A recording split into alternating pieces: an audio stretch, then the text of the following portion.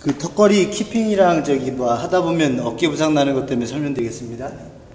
와. 그 부상 나는 이유는요. 보시면 이렇게 잡으셨을 때 이 링이라고 치면은요. 이렇게 잡으셨을 때 탈이 나요. 그죠?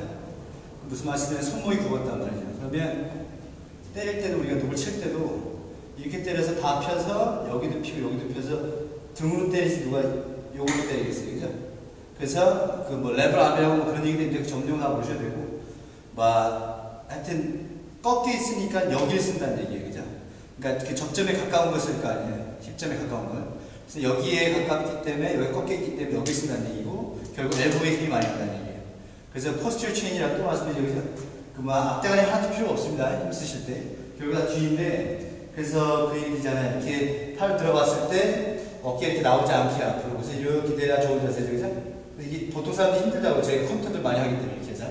근데 여튼 어깨를 뒤로 박아놓은 자, 상황에서 이렇게 하고 계신데 이 상황에서 보면 대부분 뭐라고 하냐면 잡아당기라고 하거든요. 그죠? 잡아당기시는 게 아니라 미는 겁니다. 그죠? 미셔야지 팔뚝 뼈 있죠? 나 어깨 뼈 있죠? 그죠? 이 두 개가 떠 있는데 미셔야지 떤 상황이 유지가 돼요. 근데 당기시면 이게 붙어서 끄그럭끄그럭 스크래치처럼 날 수가 있어 어깨도 아프시다는 얘기예요. 그래서 미는 느낌을 가져가시고 손목을 드셔야 돼요. 그래서 가까이 보이지가 않으시는데 아 여기서 뭐였나요? 네, 보시면 여기 빠잖아요. 그죠? 그러면 이렇게 잡지 마시고, 그죠? 위로 올려 쓸듯이 잡으셔서 이렇게 완전히 빠른 손에다 다 넣으셔야 돼요. 그래서 원리상으로 보면 힘이 안 빠지고 꽉 잡고 있다는 전제로 보면 손도 터질 일이 없죠. 그죠? 꽉 차 있으니까 계속 그 상태니까. 그죠? 쫙 붙어 있는 상태잖아요. 근데 이게 밀리니까 손이 터지는 건데. 그래서 여튼 말씀드린 건 꽉 잡으셔서 꽉 잡으신 다음에 엄지하고 세 손가락 때 얘기하는데 역도했을 때 얘기 많이 하는데요. 요 손가락으로 요 두 개를 갖다 무셔야 돼요. 그죠? 이렇게 딱 핀치를 하시면요. 훅 반대죠. 이건 안으로 밖으로입니다. 그 다음에 꽉 젖어서 손목을 최대한 피셔야 돼요. 그죠? 그 다음 피신다 상황에서 쭉 피셔가지고 밀고 계셔야 돼요. 밀고. 그 다음에 그 또 하나가 뭐냐면 그 처음에 시작할 때는 아, 이렇게 잡고 하실 수 있다는 얘기 꽉 잡고 손목까지 아, 손목까지 딱펼수 있다는 얘기예요. 근데 문제는 뭐냐면 올라갈 때, 올라갈 때 보세요.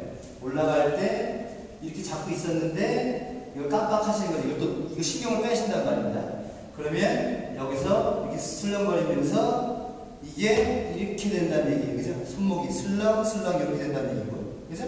그럼 올라갔다 내려올 때도 이게 슬렁 된다는 얘기예요. 그죠? 그럼 뭐 쓰시겠습니까? 결국 힘점이 가까워졌으니까 굽었으니까 여기에 부하가 오겠죠. 그죠? 그 얘를 얘만 생각하시면 돼요. 얘만. 얘 꽉 피시고 손가락 꽉 물고 계시고 그죠? 그래서 보시면 아 그래서 무조건 올라가는 게 능사가 아니라 이게 제일 많이 다치는 동작입니다. 많이 이렇게 하시는데 그래서 민다가 저거 이 잡아서 이런 거 있죠.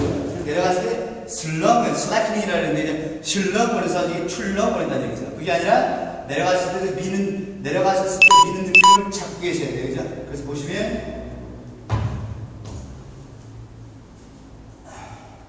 손목 꽉 잡으시고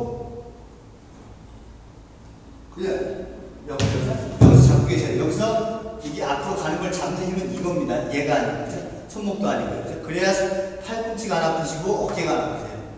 그래서 만약에 초보자분 같은 경우는 올라갈 생각하지 마시고요. 그 다음에 해보시면 아시겠는데 콜 축스는 여기서 힘이 나와서 빵 때리는 거 아니에요. 똑같이 그냥 크로스핏을 맨날 하는 얘기인데 그래서 여기서 나오시는 힘이 즉 키핑이 세시기 전까지는 올라가시는 건 의미가 없어요. 그래서 스트릭트 프로 많이 하시는 얘기죠. 그래서 근데 키핑 연습하실 때 어떻게 하시냐면 그래서 비례 축소하실 때 자기가 기준을 잡으셔야 돼요. 무조건 올라가지 마시고 와드라서 와드라고 해서 잡아서 이 정도 하세요. 그죠? 아, 초보자 같으면 이 장수 느낌으로 그죠? 그러다 보면 뭐 시간 지나면 더 올라가겠죠. 킥으로만 이 손목만 생각하시고요. 킥으로만 그죠?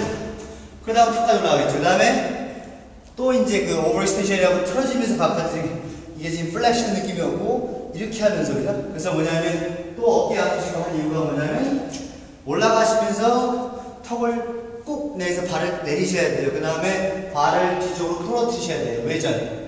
그래야지 지금 이게 어깨가 벗어나겠죠. 그죠? 뭐, 팔뚝뼈하고 어깨뼈가 벗어나겠죠. 그죠? 그래서 이게 한 정도입니다. chicken head라고 하는데요. 그래서 그냥 연습하셔서 자기가 그냥 이렇게 오셔서 이렇게 오셔야지 그냥. 어떻게 하시면 대부분 이렇게 하죠 그냥. 그럼 이게 다 무너져요.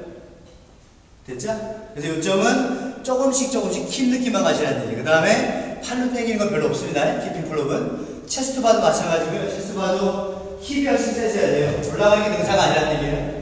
그래서 힙으로만 가서 손목 유지하고 마지막에만 살짝 당기는데 당기는 것도 어디겠습니까? 여기죠 여기 부러뜨리면서 그죠? 여기입니다 여기 보시면 손목 잡으시고 그죠? 됐죠? 정리가 된지 모르겠습니다. 뿌리말 남겨주세요.